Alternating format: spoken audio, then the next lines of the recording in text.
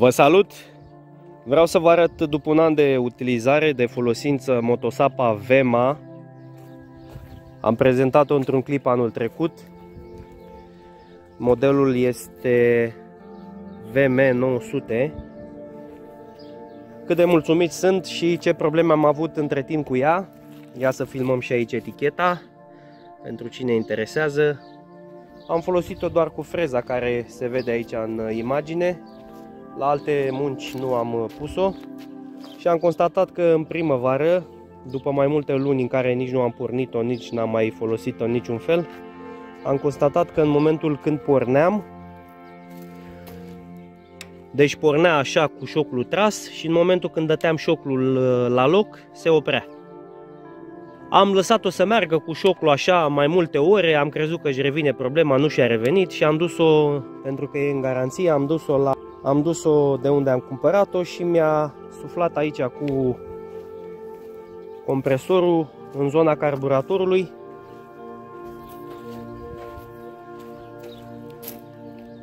Mi-a desfăcut aici în zona carburatorului, a suflat cu compresorul și de atunci funcționează perfect.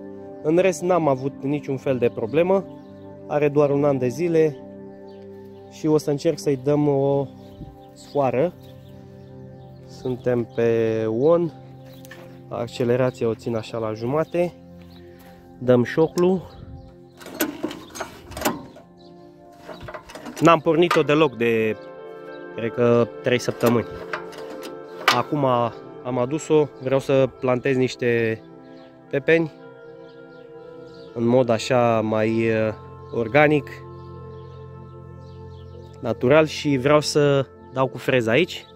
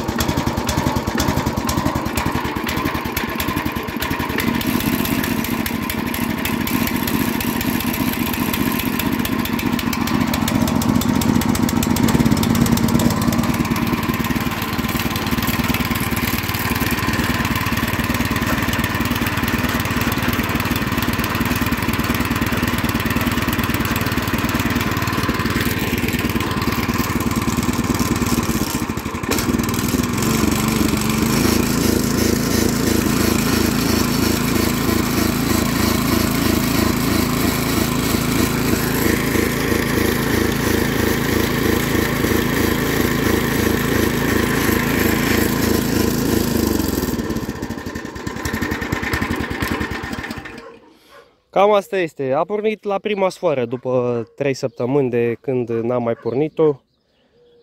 Sunt mulțumit. Prețul de achiziție a fost undeva la 2100 de lei, din ce mi-aduc aminte, inclusiv cu roata asta care am achiziționat separat.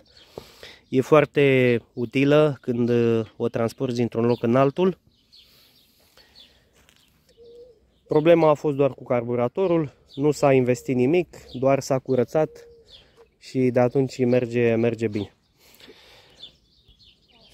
Dacă,